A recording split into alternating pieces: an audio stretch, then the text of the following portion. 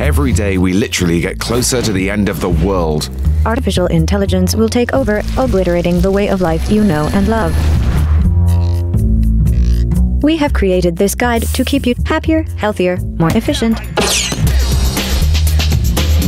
We don't make survival guides about your fantasies, just reality, oh, where the bad things happen. It's all about taking care of the little things so they can't come back and bite us later.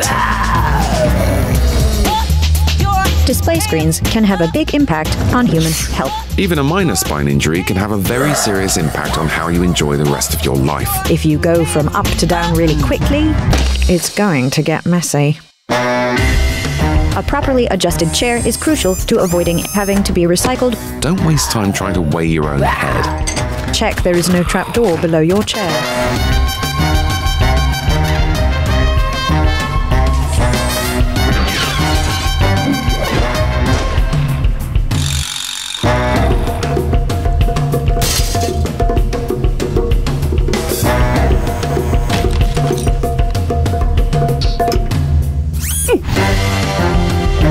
Being alive is a dangerous business.